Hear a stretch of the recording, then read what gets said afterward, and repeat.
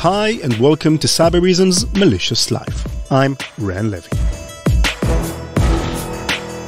Two weeks ago, in a previous episode of our podcast, we told you about the Yom Kippur War of 1973, a dangerous and traumatic war that left a deep scar in the collective memories of the Israelis who lived through it.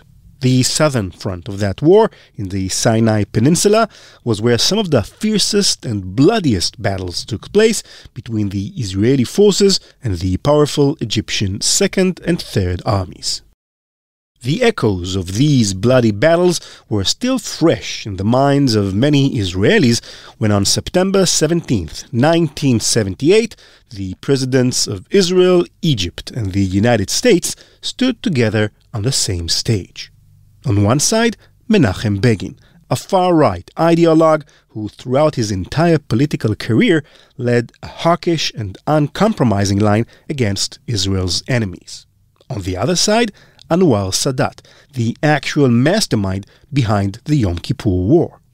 Now, in a moment you couldn't have imagined, these mortal enemies were shaking hands. Then they gave each other a bear hug. Few peace talks have ever gone so well. It was a crowning achievement for everyone involved. But it was a lie. During that three way handshake in 1978, there was something that Carter and likely Begin knew, but Sadat and all the rest of us did not. The two sides were spying on the third every time Sadat cabled Cairo using his own secret state of the art equipment, the Americans were listening in using a priceless communications hack. Each time Sadat entered into negotiations, his adversaries were one step ahead. The Camp David Accords were so incredibly successful not necessarily because ideologues became magnanimous or world peace was on the horizon. It's because Egypt was fooled and they had no clue.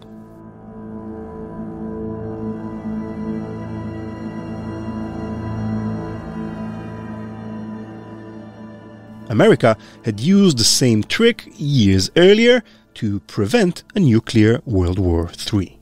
It began with Douglas MacArthur, one of the few most vaunted generals in US history. Only five generals have ever been awarded a five star rank, and he's one of them. When Japan signed over their surrender to conclude World War II, it was MacArthur who signed for the winning side. But in April 1951, at the peak of his popularity, he was fired. President Truman claimed to have fired MacArthur for the sake of quote unquote peace, but nobody knew what that really meant at the time.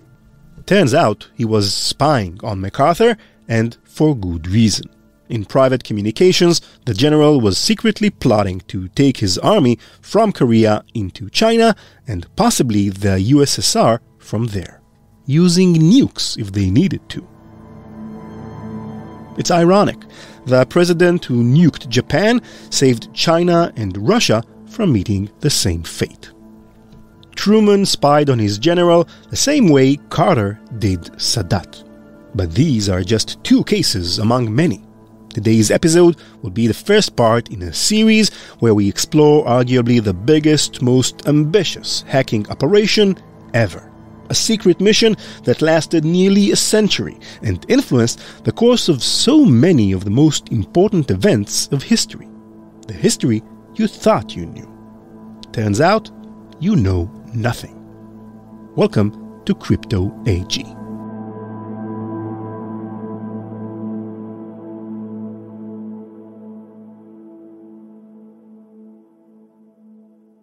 What is the most famous cybersecurity tool ever created?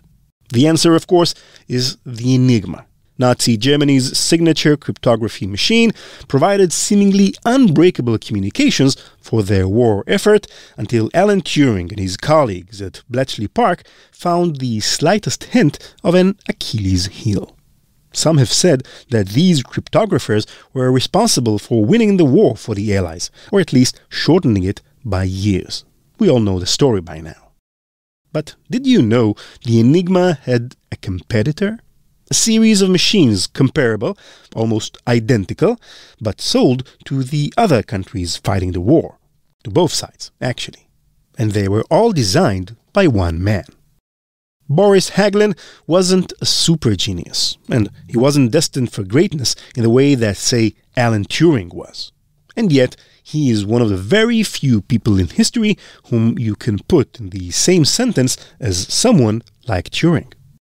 Lean and clean cut, always in a suit and glasses and a fine combed haircut, Hagelin got his first job in the field the old fashioned way. His daddy gave it to him.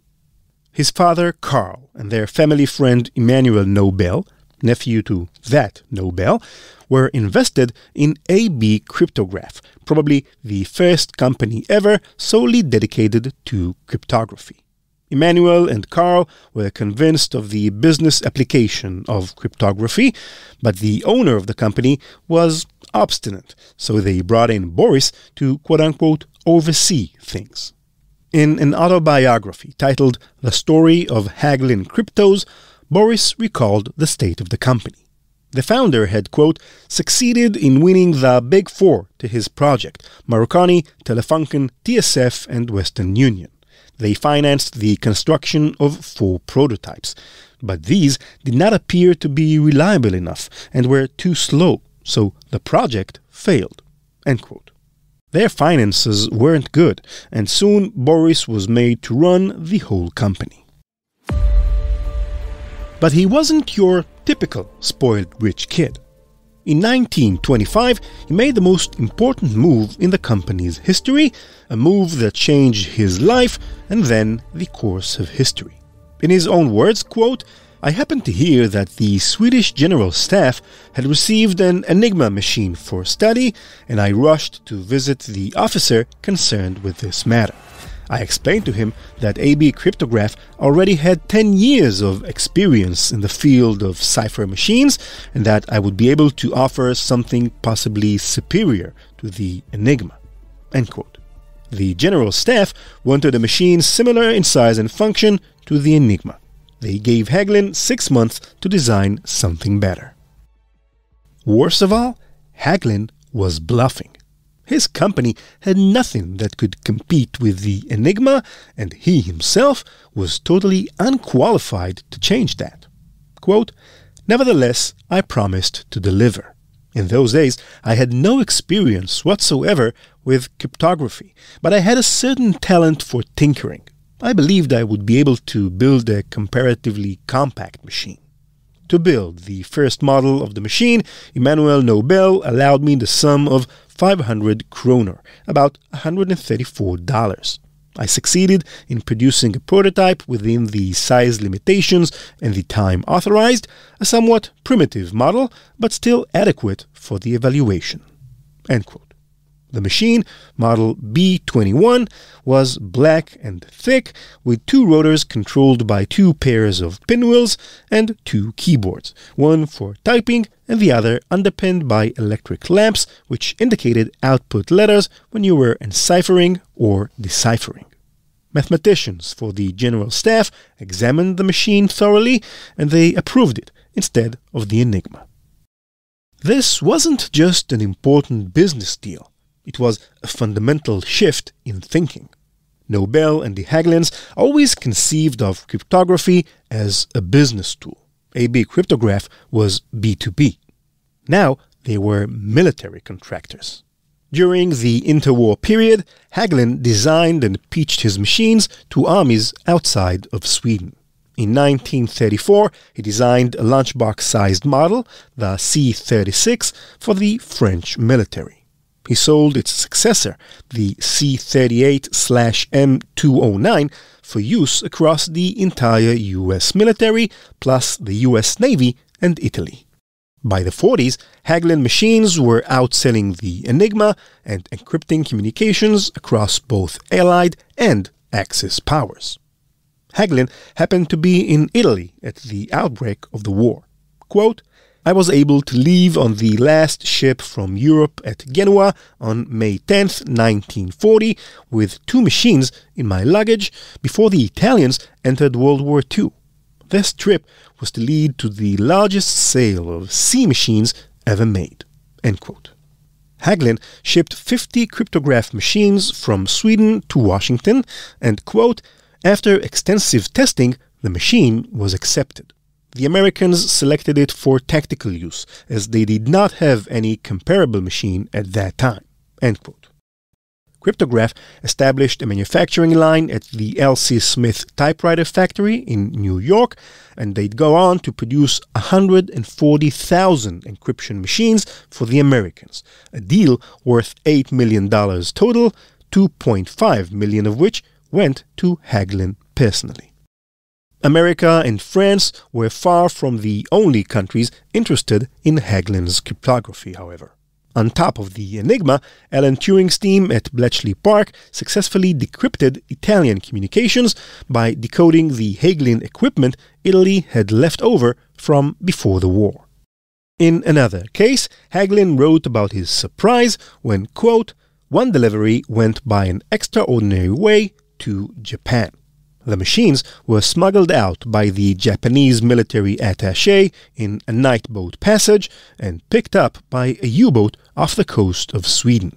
But very few machines reached their intended destination in Japan. Hagelin was even more flattered by another more successful enemy operation. Quote, it seems worth mentioning that the German authorities, who years before the war showed no interest in the demonstrated C machines, began, toward the end of the war, manufacturing a copy of the C machine for their own use because the Enigma machine had been broken by the British. When the Third Reich collapsed, they had only been able to manufacture about 700 machines. End quote the M209 and its counterparts were instrumental for the Allies during World War II, particularly America. But five years later, the very same machine threatened to undermine America's own national security. The attack surface has never been larger or more diverse, yet defenders are still forced to piece together intelligence from numerous siloed solutions that produce a flood of alerts in order to detect and end complex malicious operations. No more. Defenders can now leverage AI-driven Cybereason XDR powered by Google Chronicle to predict, understand, and end sophisticated attacks with the only solution on the market that delivers planetary scale protection that allows them to predict attacker behavior through a revolutionary operation centric detection and response approach. Cybereason and Google Cloud are dedicated to teaming with defenders to end cyber attacks from endpoints to the enterprise to everywhere.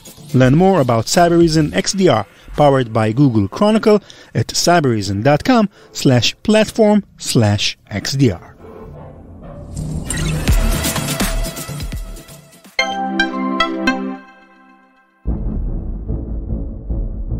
In 1950, Hagelin was tinkering with his M209. He added a new feature where the key wheels, the rotating gears that produce corresponding letters, would make deterministic but irregular steps, making each new configuration of the machine extra unreadable for any outside party. Additionally, he added a one-time tape basically a key containing rows and rows of fully random numbers, which add to the characters in an encoded message. Unless you have a copy of the same one-time tape as the sender, you won't know how the letters in each word of their message are modified into new letters. It is theoretically impossible to crack such a system. Hagelin filed for patents on his new design in 10 different countries, indicating an intention to sell it in the global market. On May 22, 1951, representatives from multiple U.S. intelligence bodies gathered to discuss the matter. The head of the Armed Forces Security Agency, William Friedman, outlined the implications for the country. Quote, It would be to the advantage of the US government if the proposed new or improved Hagelin crypto equipments were prevented from being developed, manufactured, and sold commercially on the open market. If an adversary got their hands on the new M209, they would be entirely invulnerable from US signals intelligence.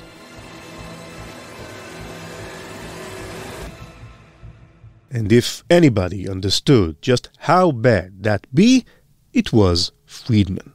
In World War I, before they had any kind of cryptology capabilities of their own, the US government hired a cryptology group led by William Friedman to be their kind of unofficial codebreakers. When America decided to develop its own cryptology service, they sent Army officers to study under Friedman. He was appointed to head cryptology for the U.S. War Department in 1921, and in 1930, Friedman was named to head the new Signals Intelligence Service, later the Armed Forces Security Agency. Friedman was an expert at code breaking. In fact, he once built a cipher machine of his own, the Sigaba, which was not only stronger than the Enigma, but to date has never been cracked. Years before, Turing and his colleagues unraveled the Enigma, Friedman and his subordinates successfully deciphered Japan's most advanced encoding system, codenamed Purple. Among their decoded messages, a cable sent to the Japanese embassy in Washington indicating that negotiations between the two countries would end on December 7, 1941. That day soon became known for the attack on Pearl Harbor. In 1941, Friedman was admitted to the hospital following a nervous breakdown. It's generally thought that he collapsed as a result of the mental strain of cracking purple. Imagine how he must have felt then, discovering that Boris Hagelin created a machine that made purple look like child's play. Quote, the effects of an expanding market for Hagelin machines should not be overlooked, particularly if the proposed new types of Hagelin machines were adopted and used by USSR satellites. Traffic in the new rotor machine, for example, would probably be entirely unreadable. To solve the Hagelin problem, he proposed a set of terms. The CIA would control which countries he could sell his new unreadable machines to. Hagelin would provide US intelligence with records regarding all of his sales, and the government would reimburse him handsomely in exchange for his troubles and any lost sales as a result of the deal. And there was one further stipulation motivated by a clever realization. As Friedman noted in his memorandum, quote, representatives of the USSR have visited the Hagelin Cryptography Company since 1946, desiring information as to new developments and products. That was the worst case scenario, America's newest, most dangerous ally getting hold of Hagelin equipment. Unless, in collaboration with the CIA, Hagelin sold them the right kind of equipment.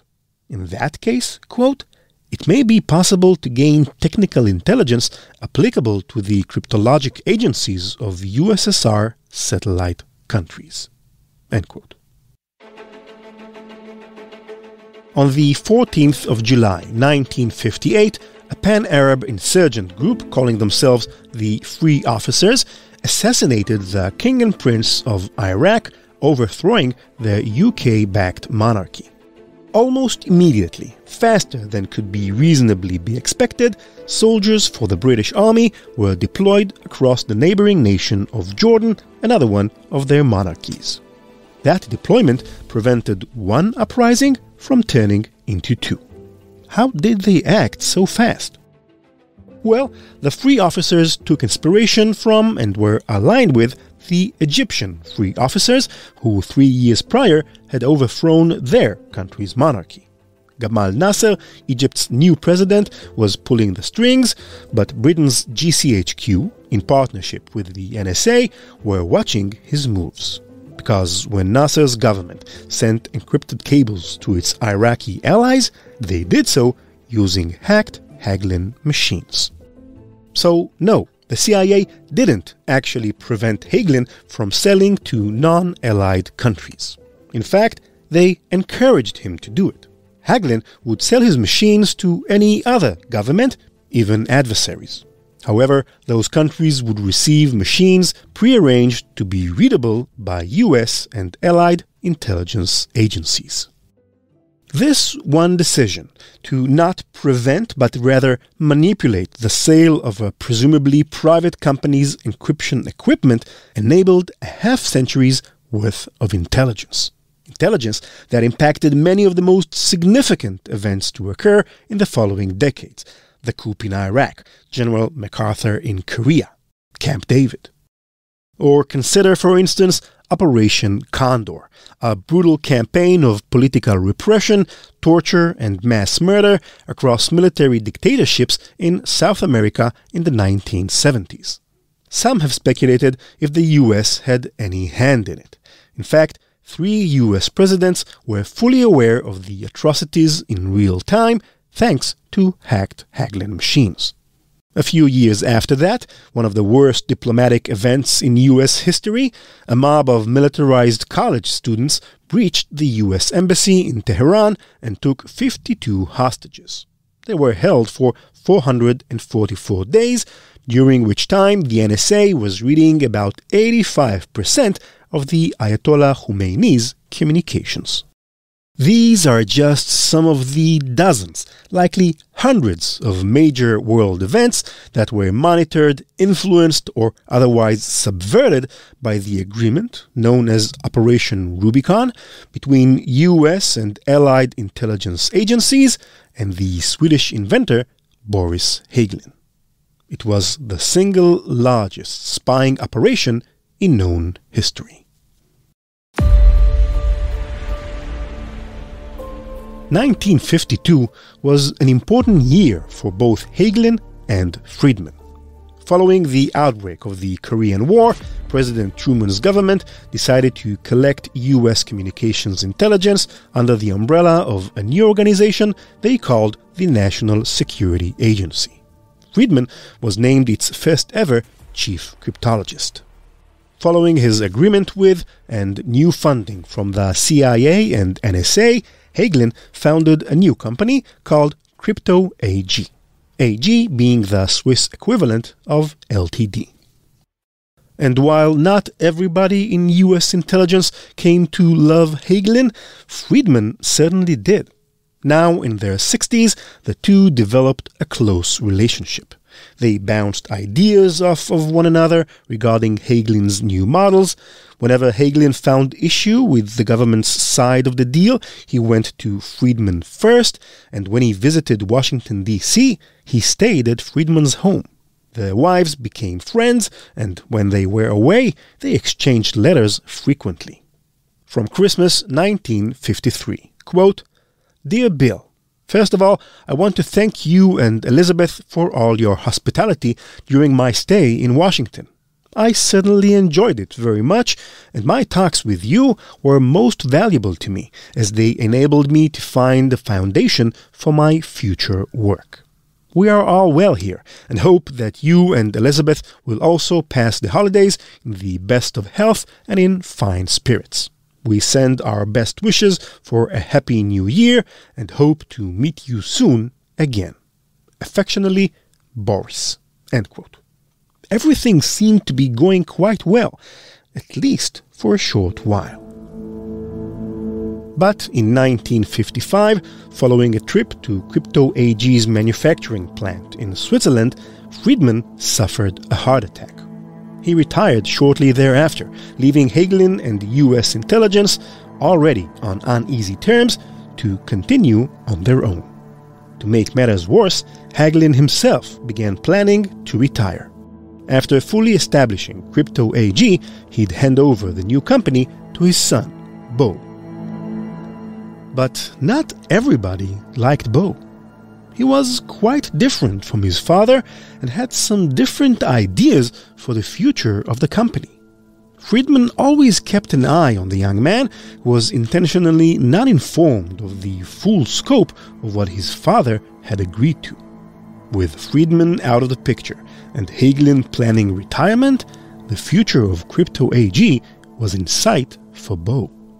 And so the most promising spying operation in America's modern history laid with a young man, a wild card as he was called, who never actually agreed to anything.